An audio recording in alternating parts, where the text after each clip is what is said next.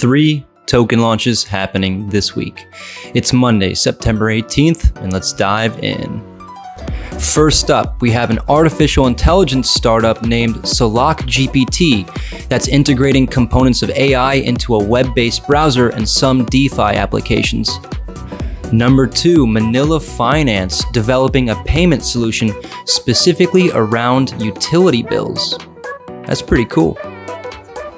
And thirdly, if you're a Tezos fanboy and a lover of the ENS naming domain system, then you're in luck because Tezos Domains is launching the first naming system for the network via public auction, though we're not sure why they're launching a fungible token for it.